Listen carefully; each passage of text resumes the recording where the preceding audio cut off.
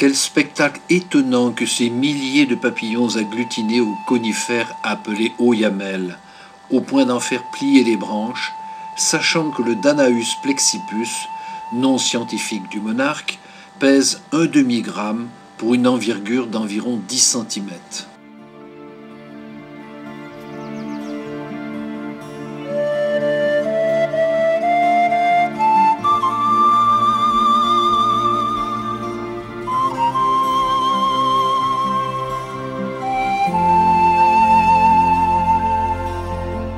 Papillons monarques sont des insectes fabuleux. Ils effectuent depuis des temps immémoriaux un voyage de migration à l'automne, de l'Amérique du Nord jusqu'au Mexique, lorsque l'hiver approche, pour aller se réfugier et procréer dans ces forêts dont la température, à cette altitude, est proche de zéro. On estime leur population de 100 à 200 millions d'individus. Les scientifiques ignorent toujours les pourquoi et comment de cette migration. Certains pensent que les papillons monarques sont guidés par les cadavres de leurs compagnons morts, quand d'autres avancent l'hypothèse de champ magnétique. Mais la réponse reste encore une énigme. On s'interroge aussi sur la transmission de la mémoire quand on sait que le voyage se fait en plusieurs générations. C'est l'arrière-petit-fils de celui parti l'année précédente qui revient au Mexique. Le cycle de la vie d'un papillon monarque varie de 1 à 3 mois mais à l'approche de l'automne, la dernière génération, celle qui migrera, pourra vivre jusqu'à environ huit mois. Les papillons possédant un sang froid s'adaptent très rapidement aux températures fraîches. Ils économisent de l'énergie en accumulant de la graisse pour le voyage du retour. Ce dernier se fait par étapes de 120 à 160 km par jour. Mais si la vitesse de vol est de l'ordre de 15 km à l'heure, les papillons profitent des vents porteurs et des aviateurs en ont vu voler à 1000 mètres d'altitude. On doit à Fred et Nora Urquhart, célèbres zoologistes canadiens, l'étude des habitudes singulières des monarques.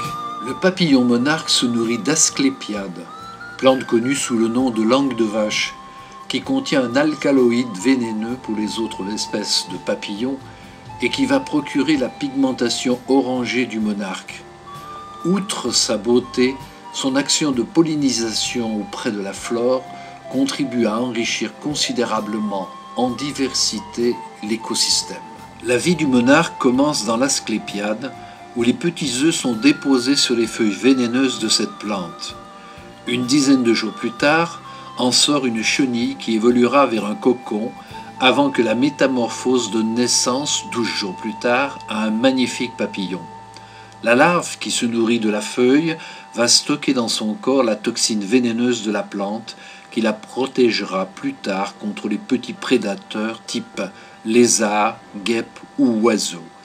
C'est le principe de l'immunité complète.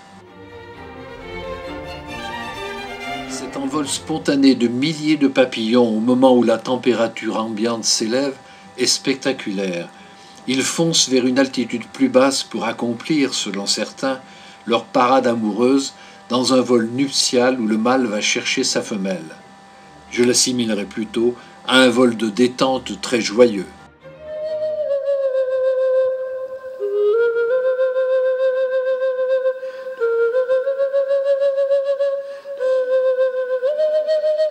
Comment distinguer le mâle de la femelle? Le mâle possède une tache d'écaille noire sur une des nervures de l'aile postérieure, et c'est à partir de cette tache qu'il produit un parfum pour exciter la femelle. Par contre, la femelle n'a pas cette particularité, mais en revanche, ses nervures sont plus larges que celles du mâle.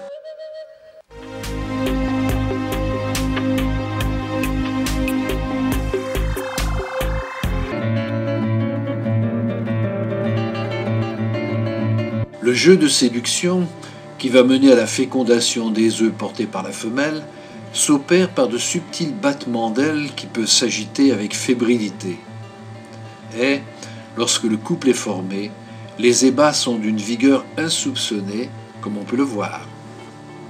Rien d'étonnant à cela quand on sait que le mâle accomplit son dernier acte sexuel avant de mourir.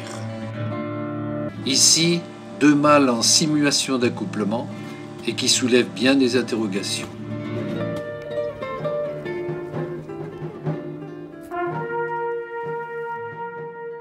Les sentiers sont jonchés du cadavre des héros morts au combat de l'amour.